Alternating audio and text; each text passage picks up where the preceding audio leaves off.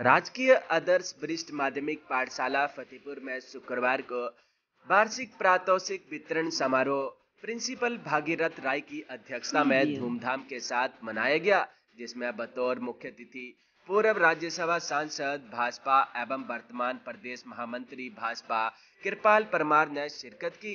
कार्यक्रम की शुरुआत सरस्वती माता के चित्र के समक्ष दीप प्रज्वलित कर की गई। वहीं स्कूली बच्चों ने तरह तरह के सांस्कृतिक कार्यक्रम पेश किए और खूब तालियाँ बटोरी।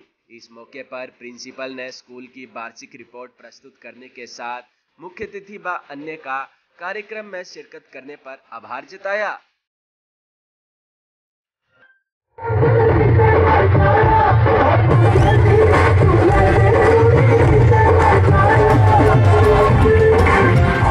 एक्सप्रेस के लिए फतेहपुर से सुरेंद्र की रिपोर्ट।